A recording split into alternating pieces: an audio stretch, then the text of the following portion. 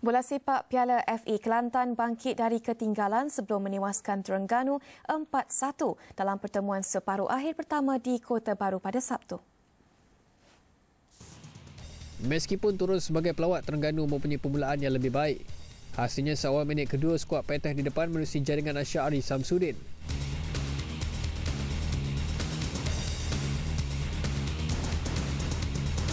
Bersambung babak kedua, Kelantan tampil dengan aksi lebih kemas dalam usaha mendapatkan jaringan. Antaranya memasukkan tonggak import Dixon Wakwame bagi memperkuatkan bahagian serangan. Wakwame balas kepercayaan ketua jurulatih Boyan Hodak memberikan kedudukan satu sama pada minit ke-79. Ketika Terengganu berkira-kira ingin berbekalan seri ke Kuala Terengganu, Indra Putra Mayudin muncul pemusnah dengan menjadikan gol kedua Kelantan. Obina Waneri memastikan Kelantan punya pendahuluan selesa dengan menyempurnakan penalti pada masa kecederaan. Ledakan Zairul Anwar Zailani dari luar kawasan penalti melengkapkan kemenangan besar Kelantan untuk keputusan akhir 4-1.